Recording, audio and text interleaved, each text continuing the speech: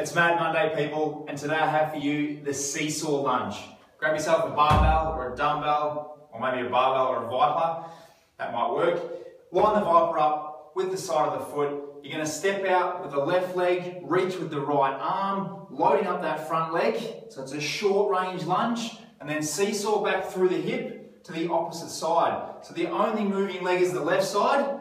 A seesaw through the hip, loading up those tissues, keep the ViPR in nice and close, hold strong through the trunk, and of course, do both sides. So you'll shuffle around, left hand onto the ViPR, roll down through the right leg, seesaw back, control through, really taxing through the glutes, really taxing through the quads. A great lunge exercise to throw into your regime. Try two or three sets of 30 seconds per side, and I guarantee you'll have sore glutes and quads the next day.